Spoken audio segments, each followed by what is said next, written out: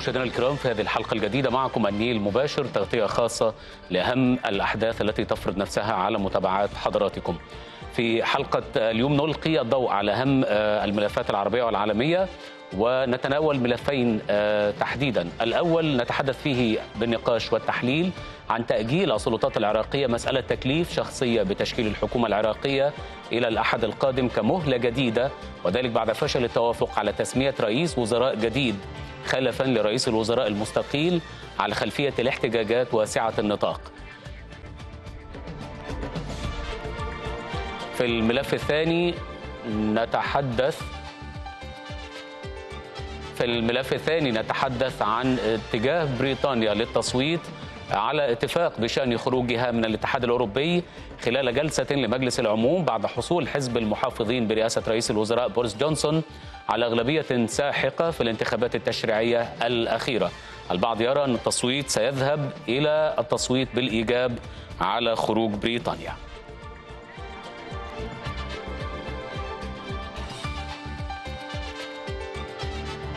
إذا هذه أهم ملامح حلقة اليوم. نخرج إلى فاصل ثم نبدأ معكم الحديث بالتفصيل.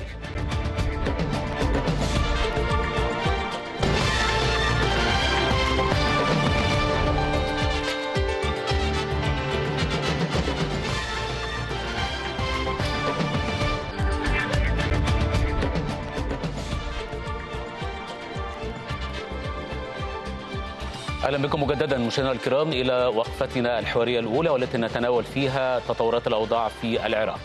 فقد حدد المسؤولون العراقيون مهلة جديدة تمتد حتى الأحد القادم لتسمية مرشح لتكليفه بتشكيل الحكومة القادمة وذلك مع انتهاء المهلة الدستورية وفي ظل تخوف من دخول البلاد إلى المجهول في حال استمرار الاحتجاجات رغم عمليات اختطاف واغتيال ناشطين. وفي غياب اتفاق بين الكتل البرلمانية على الشخصية التي سيتم إسناد المهمة إليها. قال مصدر في رئاسة الجمهورية العراقية لوكالة فرانس بريس إن السلطات اتفقت على تأجيل المهلة حتى يوم الأحد نظرا إلى أن الجمعة والسبت يعتبر بمثابة يومي عطلة أسبوعية في العراق. تأتي هذه التطورات بينما لم يتمكن البرلمان عند منتصف ليل الخميس من منح الثقة إلى شخصية جديدة لرئاسة الوزراء فيما ينص الدستور على أن يقوم رئيس الجمهورية برهم صالح مقام الرئيس المستقيل لمدة 15 يوما. نتابع تفاصيل أكثر حول تطورات الأوضاع في العراق في سياق هذا التقرير ثم نبدأ معكم النقاش. مهلة جديدة أعلنها المسؤولون العراقيون منتصف ليلة الخميس مع انتهاء المهلة الدستورية لتسمية من سيخلف رئيس الوزراء العراقي المستقيل عادل عبد المهدي وسط تخوف من دخول البلاد إلى المجهول في ظل استمرار الاحتجاجات الشعبية. ومع غياب وجود اتفاق بين الكتل البرلمانية في مجلس النواب على الشخصية التي ستوكل إليها المهمة أعلن مصدر في رئاسة الجمهورية العراقية اتفاق السلطات على تأجيل المهلة المهلة حتى يوم الأحد المقبل نظرا إلى أن الجمعة والسبت يوما للعطلة الأسبوعية في العراق. غير أن المهمة صعبة على أي مرشح لينال ثقة البرلمان ويكون قادرا على تلبية مطالب الشارع وانسحاب المحتجين. بعد أكثر من شهرين من التظاهرات والتي أسفرت عن مقتل نحو 460 شخصا وإصابة أكثر من 20 ألف آخرين. وفي حال انعدام التوافق يبقى الخيار الدستوري في حالة الفراغ السياسي أن يصبح رئيس الجمهورية برهم صالح رئيسا للوزراء لمدة 15 يوما على أن يكلف خلالها مرشحا جديدا. ويعد البرلمان الحالي هو الأكثر انقساما في تاريخ العراق الحديث. وقد فشل النواب الأربعاء الماضي في الاتفاق على إعادة صياغة قانون الانتخابات وهو الإصلاح الأكبر التي قدمته السلطات العراقية إلى المحتجين حيث تم رفع الجلسة حتى يوم الاثنين القادم. ويطالب المحتجون ومعظمهم من الشباب بإصلاح النظام السياسي والذي يعتبرونه فاسدا بشكل كبير ويتسبب في إفقار معظم العراقيين. وكانت الاحتجاجات قد أحدثت هزة في العراق بعد عامين من الهدوء النسبي الذي أعقب هزيمة مسلحي تنظيم داعش الإرهابي. وقد تسببت النزاعات بين الأحزاب السياسية التي تتشبث بالسلطة في تأجيج الأزمة بما يهدد بمزيد من الاضطرابات مع نفاذ صبر المحتجين. للمزيد من المتابعة لتطورات الأوضاع في العراق أدعوكم للترحيب بضيفي الكريم الذي انضم إلينا عبر الهاتف من القاهرة دكتور محمد صادق إسماعيل مدير المركز العربي للدراسات السياسية. وأبدأ معك دكتور محمد مباشرة بقراءتك لمجمل هذه التطورات يعني انقضت المهلة التي من المفترض أن يتم تسمية فيها رئيس وزراء للعراق دون أن يتم تحديد اسم لهذه المهمة هل دلالات ما يمكن أن نقرأها من خلال عدم توافق القوى السياسية على تحديد اسم يتولى هذه المهمة؟ طبعا بعد التحيه لحضرتك ولمشاهدينا الكرام يعني الأزمة في العراق هي أزمة فعلا أزمة سياسية طحينة فيما يتعلق طبعا نعم. بانتهاء المده الدستورية وأنا أتخيل حتى إن إن بعد حتى ربما اللجوء إلى موضوع ال 15 يوم التي يتولى فيها رئيس الجمهورية مهام رئيس الوزراء حتى تشكيل ربما حكومة أخرى أو تسمية رئيس للحكومة أتخيل أنها أيضا ربما لا تكفي حتى لاختيار الرئيس. يعني يا سيدي الفاضل المشكلة ليست في اختيار اسم معين أو تسمية اسم رئيس للوزراء لكن المشكلة هي في التوافق السياسي لدى النخبة السياسية العراقية والمحتجين أيضا في العراق. بمعنى طبعا إن المحتجين مطالبهم الأساسية هي تغيير النخبة السياسية وتخيل إن المطالب ربما تتشابه حتى مع الأزمة في لبنان حتى إن الموضوع نفسه ربما يتشابه فيما يتعلق برفض النخب السياسية الموجودة حاليا باعتبارها إنها نخب ربما اتهمت طيب. بالفساد وإنها لم لم تقم ربما طيب. بتلبية المطالب طيب دكتور محمد طالما حضرتك وضعت يدك على هذه النقطة ربما هي العقدة الحقيقية حسب رأي الكثيرين الآن الشارع العراقي لا يثق في النخبة والنخبة هي المنوط بها الآن تحديد اسم رئيس الوزراء. كيف تأتي هذه المفارقة أو كيف سيتم الخروج من هذا الصدام؟ يعني أنا شايف إن المشكلة الرئيسية ما زالت ربما من الجانبين بمعنى حتى إن ربما المتظاهرين لديهم مشاكل. يعني لعل المشكلة الأبرز في التظاهر سواء في العراق أو في لبنان أو حتى كان في الجزائر في فترة من الفترات هي عدم وجود ربما مسمى معين أو ربما حتى قائد معين لهذه المظاهرات.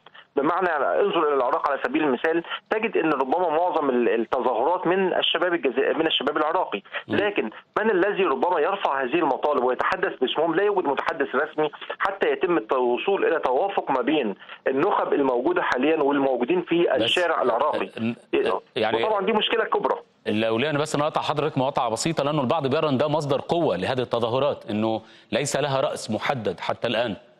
بالعكس بالعكس أراها ربما من من أبرز مظاهر الضعف في كل المظاهرات سواء في لبنان أو في العراق. لأن طبعا عدم عدم وجود ملمح واضح أو شخصية واضحة للمظاهرات فيما يتعلق بهذه المسألة ربما حتى إن بعض الجماعات الإرهابية ربما تتسلل إلى هذه المظاهرات طبعا بدعوى إنها ربما تقوم برفض النخب السياسية لإحداث فوضى. أنا أتخيل إن المشكلة الأبرز هو لابد أن يكون هناك قائد لهذه التظاهرات ويتم طبعا التفاوض ما بين هذا القائد من خلال مطالب محددة مع النخب السياسية السياسية حتى يتم الوصول إلى ربما وضع محدد. لكن إن النخب النخب الموجودة ربما السياسية تتحدث ان إن المظاهرات ليس لها سقف محدد لمطالبها وبالتالي طبعا تزيد الأزمة سوءا. إضافة طبعا لشيء أهم جدا إن التوزيعه السياسيه في العراق هي توزيعه معقدة للغاية فيما يتعلق طبعا بربما أنصار مقتدى الصدر طبعا فيما يتعلق أيضا بالنخب السياسية الموجودة فيما يتعلق أيضا ربما بالدعم الإيراني. كلها أمور تصب في النهاية في عدم وجود خريطة للاستقرار الاستقرار إلى أن تتشكل هذه الرأس المنتظرة لقيادة الثورة في الشارع العراقي هل الشارع نعم. العراقي يطلب المستحيل واللي هو إزاحة كل النخب السياسية عن المشهد السياسي العراقي؟ هل أنا أعتقد طبعا نعم. تفضل يعني أعتقد طبعا ان إن مسألة إزاحة النخب السياسية في كل الدول حتى في في العراق في لبنان حتى في الجزائر إلى مطالبهم إزاحة كل النخب السياسية. أتخيلها ربما مهمة شبه مستحيلة. يعني عندما نتحدث عن إزاحة النخب السياسية نحن نتحدث عن رفض أحزاب سياسية نتحدث عن رفض كل الموجودين على الساحة السياسية. اذا هل نأتي بشعب جديد؟ يعني أنا أعتقد إن المشكلة هنا هي مشكلة ربما رفض بعض الوجوه. يعني عندما نتحدث بمنطقية وواقعية نعم هناك رفض لبعض الوجوه لكن ليس رفض للكتل السياسية بأكملها. على سبيل المثال هناك كتل سياسية مثلا في الدولة العراقية وهناك أحزاب سياسية راسخة في الدولة العراقية. هل معنى الرفض هو رفض هذه الكتل ببرامجها؟ بكل بكل ملامحها أنا أتخيل المشكلة السيد الفاضل سواء في العراق في لبنان هي أزمة اقتصادية أدت إلى أزمة سياسية. بمعنى إن ربما الشعب العراقي ربما يشعر إن هذه الدولة طبعا منذ عام 2003 احتلال عراقي ثم بعد ذلك اختلاف ما بين النخب والتدخل طيب. الإيراني ربما كل الأمور أدت في النهاية خل... إلى إن ال... نعم اتفضل. خلينا ننظر برضو للموضوع بعيون الشعب العراقي حتى لو نظرنا إليه من الناحية الاقتصادية. هذه النخب أسند إليها على امتداد عقود مضت أو على الأقل الفترة من بعد الاحتلال الأمريكي و آه، الإطاحة بنظام صدام حسين هذه النخب نعم. أسند إليها إدارة الملف الاقتصادي وشؤون حياة الناس والنتيجة الآن وصلنا إلى يعني انسداد كامل في النواحي الاقتصادية أو في الأفق الاقتصادي هل هل هذا يبرر سحب الثقة من هذه النخب على لسان الشارع العراقي أو برأي الشارع العراقي؟ يعني طبعا بعد. بعد الاحتلال الأمريكي للعراق أمريكا عمدت إلى ربما تعطيل الحياة السياسية في العراق ونهب ثروات العراق طبعا وربما التعويض بالنخب السياسية الموجودة المحالفه المتحالفة أو المواطئة للولايات المتحدة الأمريكية. بعد الرحيل الأمريكي طبعا استمرت هذه النخب على هذه الوضعية لقد اعتادوا على ذلك. وبالتالي فالمشكلة هنا ان إن الخير العراقي لم يعود على الشعب العراقي بقدر ما عاد على النخب السياسية. كما أشرت المعاليك في البداية هي أزمة اقتصادية بالأساس لكن طبعا جذورها سياسية من خلال هذه النخب. اذا رفض النخب السياسية نتيجة لأن هذه النخب السياسية ربما هيمنت على الأوضاع الاقتصادية والثروات الاقتصادية للدولة العراقية ولم يعد على المواطن العراقي بشيء رغم أن العراق دولة غنية بالأساس وكلنا نعلم ذلك فيما يتعلق بثروات نفطية أو ما إلى ذلك. نعم. طيب آه، استاذنك يا دكتور محمد وشاركنا الحديث آه، أيضا آه، عبر الهاتف من العراق ضيفنا الكريم السيد باسل الكاظمي المحلل السياسي العراقي ينضم إلينا آه، تحديدا من بغداد. أهلا بك سيد باسل. طيب أعتذر ليك يا دكتور باسل فقد الاتصال بك لكن هذه المرة أعود إلى دكتور نبيل محمد سليم أستاذ العلوم السياسية أيضا أنضم إلينا من جامعة آه، أستاذ العلوم السياسية بجامعه بغداد وأنضم إلينا من العاصمة العراقية بغداد أيضا. أهلا بك دكتور نبيل. أهلا ومرحبا. كنت أناقش مع ضيفي هنا من القاهرة آه، دكتور محمد صادق آه، فكرة آه، إنه الشارع العراقي سحب الثقة من جميع النخب السياسية العراقية أو هكذا يجتهد إنه يزيح كل هذه الكتل السياسية أو النخب السياسية الموجودة في المشهد العراقي. ولكن هذه النخب هي المنوط بها تسمية رئيس الوزراء العراقي المنتظر. كيف تبدو هذه المفارقة بالنسبة لك؟ وأيضا رغم ذلك هذه النخب لم تتفق حتى فيما بينها على رئيس للوزراء يتحمل المسؤولية في هذا التوقيت. آه. نعم مساء الخير اولا. أهلا بك يا آه، فندم. لو سمحت لي فقط تعليق بسيط على ضيفك الكريم. المشكلة في العراق ليست مشكلة اقتصادية خرج عليه المتظاهرون ويتفق عليه عموم الشعب ليست آه، المسألة الاقتصادية المسألة الاقتصادية هي الواجهة فقط. المشكلة الأساسية هو هي اخت- اختطاف الوطن وجرح الكبرياء الوطنية العراقية هذه هي التي دفعت العراقيين بشكل عام للخروج في التظاهرات ودعم شعبي كبير لهذه التظاهرات. المشكلة الأساسية الآن هي طبعا هي في النخب السياسية والطبقه السياسية التي تحكمت في الأوضاع في العراق منذ 2003 وحتى الآن على وفق مبدأ المحاصصة آه، الحزبية والقومية والطائفية في العراق والتي آه، لم تفعل شيئا حقيقة للعراق وإنما آه، تراجع دور العراق تراجع كل شيء في العراق حتى وصلنا إلى آه، مرحلة آه، يعني من التدهور السياسي والاقتصادي والثقافي والاجتماعي آه، طبعا آه، الم- المشكلة الآن المعقدة أكثر هي أن ذات الطبقة السياسية متمسكة آه، يعني ب- بالامتيازات التي حصلت عليها وبالمواقع التي حصلت عليها وتحاول إعادة تدبير نفسها خلافا لما يريده الشارع من آه، آه، إزاحة هذه الطبقة نعم. بالكامل. طيب يعني طب إذا اذنت لي اذا إذا اذنت لي كامل إذا اذنت لي أطرح على حضرتك سؤال ربما دكتور محمد صادق هنا في القاهرة طرحه. هل يعقل انه جميع النخب السياسية في العراق فاسدة؟ هل يعقل انه تتم إزاحة كل هذه النخب آه، الموجودة في المشهد السياسي؟ ولعله تساءل أيضا بشكل متعجب. هل يعني ذلك أن نأتي بشعب جديد في العراق؟ طبعا يعني هناك أكيد بالأكيد مخيرين لكن للأسف ال- ال- ال- الغالب في هذه الطبقة السياسية هم الفاسدين والباقين لا يستطيعون أن يفعلوا شيئا لازاحه هذه الطبقة السياسية بدون دعم حقيقي. هذا الدعم الحقيقي يأتي من من الشعب. الشعب بعده هو الذي يستطيع أن يحرك الشارع هو الذي يستطيع أن يفرض إرادته آه، في النهاية على على هذه الطبقة السياسية. لذلك الخيرين آه، يعني في موجود الطبقه السياسيه لكنهم غير قادرين على لكن ده لكن لكن هذا الأمر هذا الأمر لم يأتي هكذا على لسان الشعب العراقي. العراقيون يطالبون بإزاحة جميع الموجودين في المشهد السياسي. هذا صحيح هذا صحيح هذا صحيح لأنه يحملون المسؤولية للجميع. آه، آه، ما آلت إليه ال- الأوضاع في البلاد. وبالتالي هم يتطلعون إلى تغيير تغيير حقيقي بهذه الطبقة السياسية أن يأتي آه، أناس قادرين آه، اولا لديهم رؤية واضحة لمستقبل البلاد، لديهم استراتيجية واضحة للأهداف التي يجب أن يحققوها ويعملون من أجل العراق وليس من أجل مصالح. خاصة بهم أو بأحزابهم أو بمناطقهم أو حتى لاطراف خارجية أو دولية تعمل على تحقيق مصالح على حساب مصالح العراقيين. طيب يبقى سؤال. يبقى السؤال الأهم هذه الشخصية المنتظرة التي ستخ... ستخلف سيد عادل عبد المهدي يعني برأيك هل هي موجودة؟ هل من الممكن أن تظهر آه، بشكل يعني يجنب العراق مجموعة الفتن الحادثة الآن أم, يم- أم أنه يبدو ظهور آه، بين قوسين المهدي المنتظر أمر آه، غاية في آه، يعني لو توفرت الإرادة السياسية الحقيقية لإجراء مثل هذا التغيير لدى الطبقة السياسية الآن بعد أن يعني يفترض أنها أدركت أخطائها وما آه، يعني تسببت به من نكسات في العراق ممكن أن تجد العراق فيه الكثير من الكفاءات القادرة على أن تنهض بالبلاد في واقعها مختلف المجالات وقت قصير جدا قد لا يتوقعه الكثيرين لأن كل كل إمكانيات التغيير موجودة في العراق سواء مادية سواء بشرية ثروات طبيعية إلى آخره. لكن المشكلة هي في الإرادة السياسية وفي تمسك هذه الطبقة السياسية بمواقعها. ومعروف أن عادة التغيير لابد ان يجابه بقوى يعني تحاول الإبقاء على الوضع القائم وقوى أخرى تريد التغيير. بالنتيجة أعتقد أن إرادة الشعب هي التي ستنتصر وهي التي ستفرض التغيير على هذه القوى السياسية. آه، يعني إذا لم يكن آه، يعني آه، من خلال الآليات الدستورية أو المطالب السلميه وبالتالي ستجبرهم على أن يتخلوا عن هذه السلطة ويتركوا المجال للآخرين لكي يعيدوا بناء. أعود إليك مرة ثانية يا دكتور محمد صادق في القاهرة.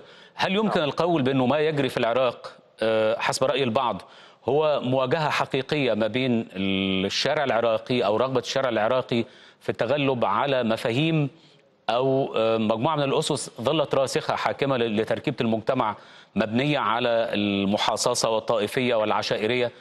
هل هل يمكن النظر للموضوع من هذه الزاوية؟ العراق يحاول أن يتخطى آه، هذه المسألة مسألة ال- الطائفية والقبلية. يعني شوف أخي الكريم كل دول العالم فيها موضوع الطائفية وال- والمحاصصة. يعني لن تجد لن تجد في أي دولة من الدول مجتمع متجانس. لكن هو ال- ال- الرغبة الرغبة طبعا في الرغبة السياسية هي التي ربما تدير المشهد فيما يتعلق بهذه المسألة. ربما نتوافق على أشياء لكن نختلف على أشياء أخرى. لكن طبعا الرغبة في استمرار الوطن وبقاء وطن هي التي تدفع الجميع ربما للتنازل جزئيا عن بعض المطالب. في مقابل طبعا بقاء الوطن نفسه. هذا في كل دول العالم ومنها الدولة العراقية. أنا أنظر طبعا للمسألة من هذا الجانب. يعني أنظر بعد عام 2003 ما زال هناك ربما الناس موضوع المحاصصه وطبعا الولايات المتحدة طبعا باحتلالها العراق هي التي ربما ثبتت وركزت هذه المسألة. إضافة لبعد هام جدا وهو البعد الخليجي في المسألة العراقية بمعنى إن ربما طبعا وانظر البعد الإيراني تحديدا إيران ربما حصلت على بعض المكتسبات في العراق بعد 2003 من خلال التدخل المباشر في الشأن العراقي وأنا أتخيل إن إن اليد الإيرانية ما زالت تعبث في أمن العراق فيما يتعلق بهذه المسألة. أنا أنظر إن إلى الحل من منظور آخر وهو إن الحل أنا أعتقد أنه لابد من توافق سياسي بين بين كل الجبهات السياسية الموجودة أو الكتل السياسية الموجودة على مشروع وطني في الاساس هذا المشروع الوطني قائم على ربما نوع من ربما وثيقة تحدد المرحلة المقبلة فيما يتعلق بالدولة العراقية فيما يتحدد بالمسؤوليات. أعتقد أنها ربما هذا هو الحل. لكن طيب. الحل أن نسمي رئيس حكومة. أتخيل إن أي رئيس حكومة لن يستطيع النجاح إلا إذا كان هناك توافق طيب. من أنا من النخب السياسية. أنا ربما أدعو حضرتك لنظرة بانورامية أكثر شمولا على ذكر لبنان وأيضا وبعض الثورات أو الحراك في بعض الشوارع العربية. نعم. هل يا دكتور محمد مفهوم الدولة في العالم العربي بحاجة لاعاده تغيير أو إعادة تقييم نفسه. مفهوم الدولة الذي استقر بعد ثورات التحرر في منتصف خمسينات القرن العشرين والميثاق الذي وقع ضمنا بين الشعوب ومفهوم الدولة بعد ثورات التحرر. هل هو بحاجة أو الدولة بحاجة لأن تعيد حساباتها أو قراءة المشهد من جديد؟ بمعنى أنه ينبغي عليها أن تلبي طموحات شعوبها بشكل أو بآخر. لعل هل لعل هذه الفكرة ربما هي ربما فكرة شاملة وعامة ولكن أعتقد إنها تخدم نقاشنا في هذا السياق. بالتأكيد يعني بالتأكيد مفهوم الدولة نفسه مفهوم متغير بمعنى إن الدولة ربما كان ينظر إليها فترة من الفترات باعتبارها ربما هي هي الأمن وهي الحامية ربما للشعب. لكن المفهوم تغير مع تغير الفكر السياسي نفسه يعني مثلا على مدار على مدار الأعوام ربما انتقلنا من فكر اشتراكي ربما يهيمن تهيمن عليه الدولة إلى فكر ليبرالي يدعو إلى الحريات. وبالتالي فأنا أتخيل إن هذا المفهوم انتقل إلى العالم العربي طبعا من خلال الموجة الأولى ثم الموجة الثانية من المظاهرات والحركات الاحتجاجية. لكن ينقص طبعا الرؤية نفسها بالنسبة للشعب. هل الشعب الشعوب العربية كلها كانت مدركة ليه؟ لمفهوم التظاهر ومفهوم الاحتجاجات. هل كانت مدركة الشعوب العربية وهي تتحرك نحو الاحتجاجات؟ إلى أن إلى نتيجة هذه الاحتجاجات والى مفهوم التغيير السياسي. يعني أعتقد إن ربما وخلينا نجلد أنفسنا بعض الشيء فيما يتعلق بالثقافة السياسية والتنشئة السياسية لشعوبنا العربية. هل هل الشعوب العربية كانت منشأة سياسيا على مفهوم التغير وتقبل التغيير السياسي وموضوع التداول السياسي للسلطة. أنا أعتقد إن كل هذه المفهوم كانت مفاهيم شبه غائبة عن المواطن العربي فيما يتعلق بهذه بس بهذه بس حتى هذا في هذه النقطة المسؤولية مسؤولية الدولة برضه يا دكتور. يعني نعم.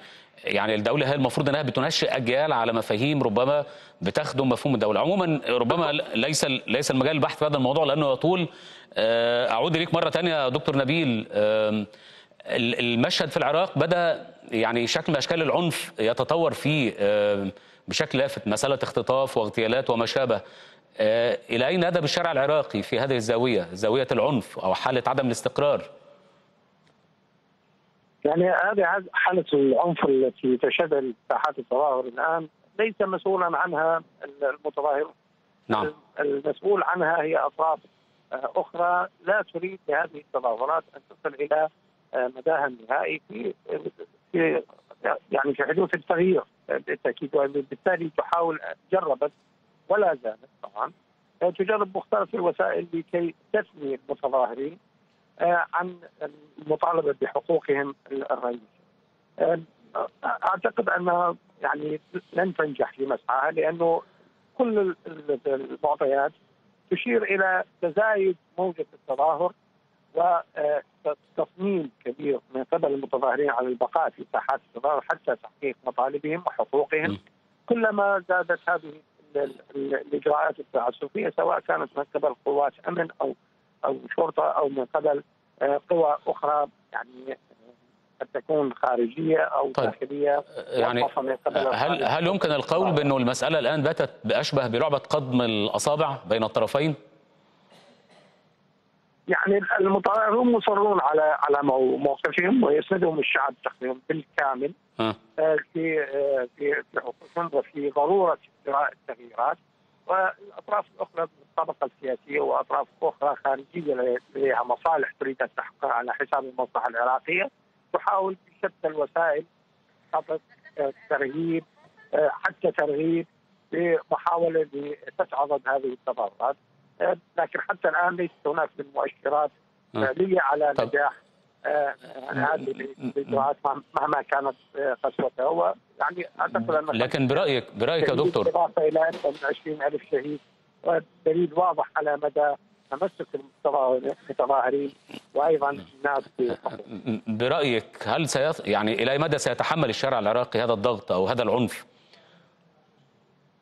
كل المؤشرات تشير إلى أن الشارع العراقي مستعد للذهاب إلى إلى النهاية في تظاهراته وفي المطالبه بحقوقه ولا لن يسمح للطبقة السياسية بأن تفرض رأيها عليه الآن تحاول هذه الطبقة نعم. الاتفاق على المطالب من خلال قوانين قوانين تحقق مصالح هذه الطبقات بشكل أو بآخر، نعم فيها تغييرات لكنها لا تصب بالكامل في المصلحة العامة. وتحاول أيضا أن تعيد تبيين نفسها من خلال تقديم أو ترشيح شخصيات بديلة لرئيس الوزراء وهي مرفوضة حتى حتى الامس آخر المترشحين كان مرفوضة من قبل ساحات التظاهر والشروط واضحة من قبل المتظاهرين من ينبغي أن يتولى هذه المسؤولية.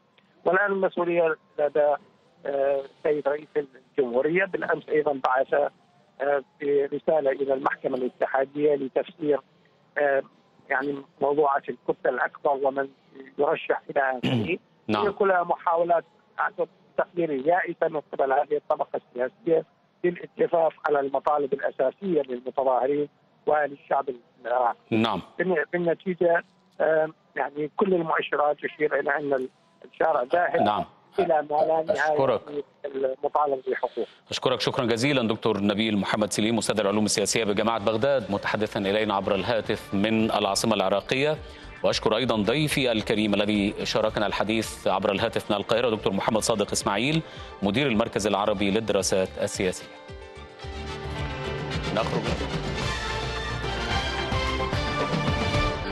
ثانية في حلقة الليلة أو في حلقة اليوم والحديث عن التصويت على بريكسيت في مجلس العموم البريطاني. ابقوا معنا.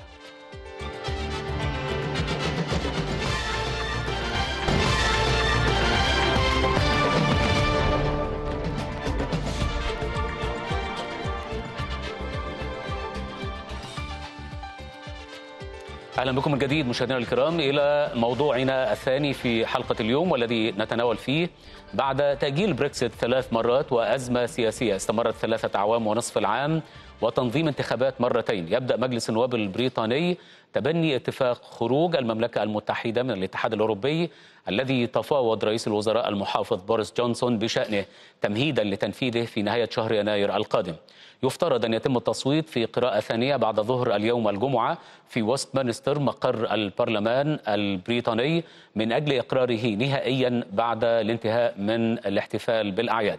وبقيادة آه، أغلبية تصل إلى 365 نائبا من أصل 650 مقعدا في مجلس العموم منذ فوزه الساحق في الانتخابات التشريعية التي جرت في الثاني عشر من ديسمبر. سيحصل رئيس الوزراء هذه المرة على الأرجح بلا صعوبة على دعم أعضاء البرلمان المؤيد بشكل واسع لتنفيذ بريكسيت.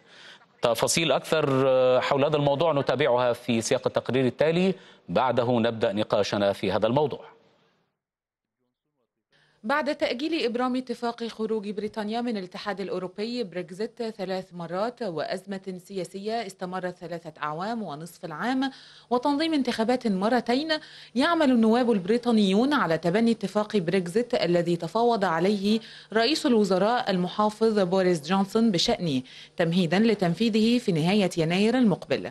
وبقيادته أغلبية من 365 نائبا من أصل 650 مقعدا في مجلس العموم منذ فوزه الساحق في الانتخابات التشريعية المبكرة التي أجرت في الثاني عشر من ديسمبر الجاري.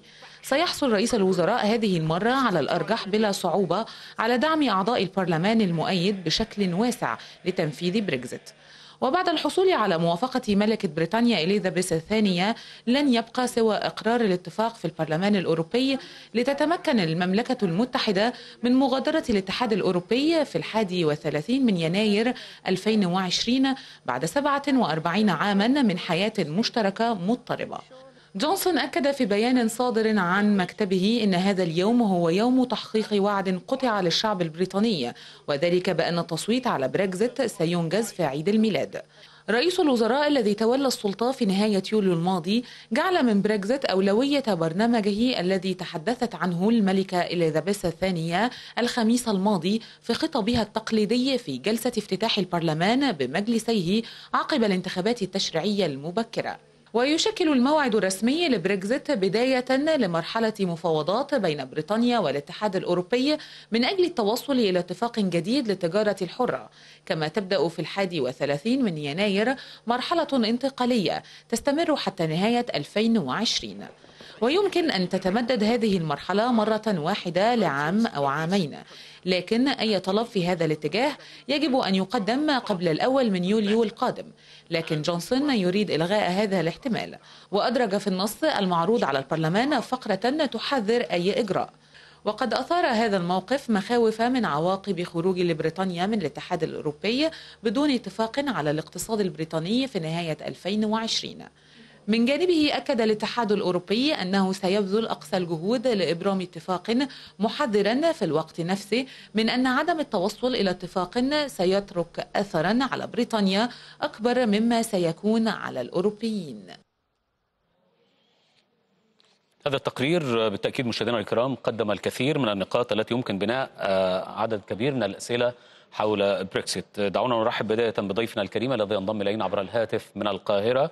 الأستاذ بهاء محمود الباحث في الشؤون الأوروبية بمركز الأهرام للدراسات السياسية. أهلا بك أستاذ بهاء. أهلا يا فندم. آه الآن آه باتت الأمور شبه محسومة بالنسبة لبوريس جونسون بحسم التصويت على بريكسيت. هل آه يعني تذهب في هذا الاتجاه أنه ثمة مفاجآت ربما تنتظر جونسون في مسألة التصويت اليوم؟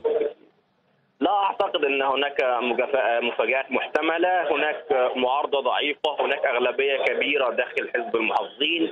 هناك أيضا توافق كبير على مسألة الخروج وفق اتفاق آه، جونسون.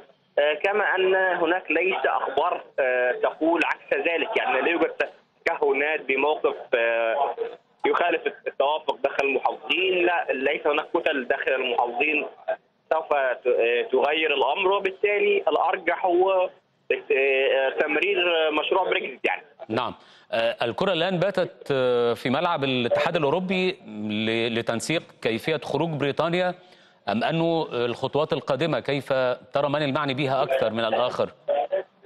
أنا بعتقد ال- ال- الأمر الآن معني بما تريد بريطانيا حاجة الأمر من شكل العلاقة من الاتحاد الأوروبي، الاتحاد الأوروبي لديه أجندة واضحة لأنواع لأنواع الاتفاقيات، هل هو هل بريطانيا تريد شكل علاقة مثل تركيا، تريد علاقة مثل النرويج، تريد علاقة مثل آه، دول سويسرا؟ ال- الكرة في ملعب بريطانيا وليس العكس. نعم من جانب آخر آه، آه، طوال الوقت كان لدى الاتحاد الأوروبي غموض من ناحية موقف بريطانيا تجاهه هو لا يعلم تريد بريطانيا عندما يكون هناك انقسام داخل آه، ال- ال- المحافظين. ثم نعم. انقسام داخل البرلمان ولا يأتي بكل يأتي من وراء كل هذا أي توافق من بريطانيا على شيء حتى يعرف حتى يفهم الاتحاد الأوروبي ماذا تريد بريطانيا. نعم. من زاوية أخرى مم. آه، من زاوية أخرى آه، الأزمة الحقيقية الآن هو إنه كان الرهان على فكرة إن البريكس مرتبط فقط بمسألة توقيت خروج، لا الأزمة الحقيقية هو شكل السيناريو التجاري. آه، آه، جميع مفاوضات أوروبا عموما مع الدول الكبرى سواء كان مع كندا أو مع أمريكا أو مع اليابان والصين كلها تأخذ أعوام طويلة. هذا هذا يعطي رسالة واضحة لبريطانيا وغيره إنه أي اتفاق تجاري ليس من السهل توقيعه في عام أو أكثر. يعني يقال إنه آه، اتفاق مع كندا مر بأكثر من 10 سنوات تفاوض. عظيم. وبالتالي مم. اتفضل. آه، أنا بس بقطعك لأن الوقت محدود وبينضم إلينا عبر الهاتف من العاصمة البريطانية لندن لمشاركتنا آه، هذا الحديث. آه، ضيفنا الكريم دكتور ناصر قلاوون أستاذ الاقتصاد السياسي. أهلا بك دكتور ناصر. أهلا بكم. إذا كان لحضرتك مشكورا يعني تعطينا خلفية عن الحالة المزاجية الآن بالنسبة للشارع البريطاني في ظل أن الأمور باتت شبه محسومة بالنسبة لبوريس جونسون في نيل ثقة البرلمان في التصويت على بريكسيت. كيف تبدو الحالة المزاجية بالنسبة للبريطانيين؟ اولا أقول أن هناك ارتياح. من ثلاث سنوات ونصف من التعثر الحكومي وأخيرا الصدام مع البرلمان. حول كل فقرة في فقرات الطلاق مع أوروبا ما حصل قد حصل بوريس جونسون وعد كساحر برأيي أنه من السهل الطلاق وقام بمحاولة الآن يريد التسريع واحترام التواريخ هذا برأيي أراح اولا المستثمرين الداخليين. اثنين أراح الشركات الدولية المستثمرة في بريطانيا. تعرف على أي طريقة ستمشي. نعم. ثلاثة برأيي أراح المؤسسات الصغيرة والمتوسطة التي لها شراكات مع شركات في الاتحاد الأوروبي وبالتالي المحافظة على الأقل 40% من سوق بريطانيا مع الاتحاد الأوروبي، لكن الكارت الرابح برأيي هو بيده خلال عام الفوز باتفاق مع الولايات المتحدة، نعم أنا أتفق أن الاتفاقات التجارية تأخذ وقت طويل، ما حصل للآن هو اتفاق الطلاق لكن اتفاق الشراكة مع الاتحاد الأوروبي سيأخذ ولكن وقت. هل اتفاق المشاركة مع الولايات المتحدة الأمريكية مرتبط بشخص دونالد ترامب؟ أم أنه المسألة لا تت... يعني غير مرتبطة بوجود ترامب في السلطة؟ بالطبع وجود ترامب يعطي عامل إضافي من ناحية لأنه تسهيل الأمور. لأنه ربما هو شجع بوريس جونسون في أكثر من مناسبة على الخروج من. من الاتحاد الأوروبي. صحيح لكن التيار المشكك بالتقارب كثيرا مع أوروبا. نقديا يعني عبر عمل- عملة اليورو أو سياسيا الجيش الأوروبي الموحد السياسة الموحدة هو خوفي في بريطانيا قب- قبال وصول ترامب إلى السلطه، بالطبع هذا الأمر يعطيه شجاعة لكن يجب أن يكون هناك ثمار. باتفاق أو على الأقل خطوط تجارية، خطوط عامة. باتفاق تجاري واحد اثنين نعم المفوضين الأمريكيين هم أشداء. حتى مع الحلفاء بالنسبة للاتفاقات التجارية خصوصا برأيي ليس فقط في الصحة البريطانية يعني قطاع الصحة. المنتجات المعدله وراثيا في أمريكا. من الأدوية إلى إلى القمح إلى الذرة التي تفرضها أمريكا على الشركاء والتجاريين لكي يشتروها خصوصا أنا بها استثمارات ضخمة، لكن أنا أقول الكارت الرابح هو كذلك في الشركات في إنتاج الأسلحة، بريطانيا لها سوق ممتازة في الولايات المتحدة لبيع يعني أجهزة إلكترونية وهناك شراكة أنا برأيي أنها ستتعزز وخصوصا في قطاعات التقنيه البيولوجية والتقنية المعلوماتية. لكن أنا مرة ثانية يعني أتمنى على حضرتك تعكس لنا حالة الشارع العراقي، تحدثت عن يعني مشكورا في تحليلك عن الصدام ما بين الحكومة والبرلمان وما شابه، لكن ماذا عن المواطن البريطاني؟ أنا ربما قلت العراقي، المواطن البريطاني كيف كيف, كيف يريد الخلاص سيدي آه. يريد الخلاص لأن حزب العمال وعد بعام آخر من الاستفتاء والتشاور ولم يهضمه هذا المواطن البريطاني. ليس حبا في يعني الخروج من أوروبا بدون اتفاق. لكن جونسون دخل يعني الانتخابات باتفاق عام مع أوروبا. بالطبع يبقى الاتفاق للطلاق لكن يبقى الاتفاق التجاري. واحد. نعم اثنين. برأيي الراحة البريطانية بحكم أن الجنيه كان يتوقع له أن يتراجع ليساوي دولار.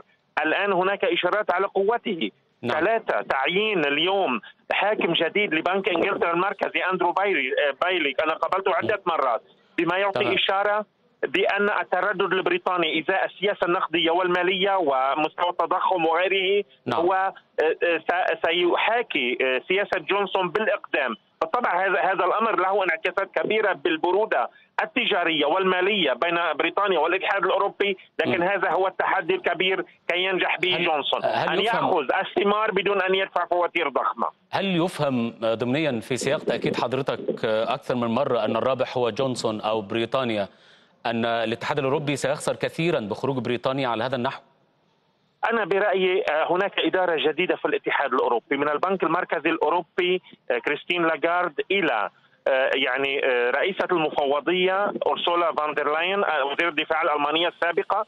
هي Anglophile يعني يعني لنقل. تهضم كثيرا الثقافة البريطانية والاتجاه البريطاني. قابلتها مرتين أنا. وبالتالي أرى أنها يعني خصوصا ألمانيا هي الاقتصاد الأكبر في أوروبا لا تريد الصدام مع بريطانيا لأمور استراتيجية وليس محبة بها.